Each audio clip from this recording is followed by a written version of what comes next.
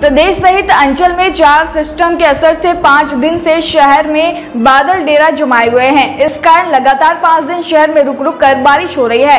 सोमवार को दोपहर में आधा घंटे तक तेज बारिश फिर बूंदाबांदी का दौर चला। इस दौरान मौसम कार्यालय में 14 मिलीमीटर बारिश दर्ज की गई। अक्टूबर में शहर में अब तक एक मिलीमीटर बारिश हो चुकी है। मौसम विभाग के अनुसार बारिश का दौर तेरह अक्टूबर तक रहने के आसार है। इससे ग्वालियर शहर के एकमात्र पेयजल सप्लाई के स्रोत तिगरा जलाशय में सोमवार को पानी का लेवल तेज़ी से बढ़ना शुरू हो गया। तो रात रेडियल गेट खोलना पड़े। हालाँकि रात को आठ बजे भी पानी की आवक को देखते हुए एक गेट खोला गया।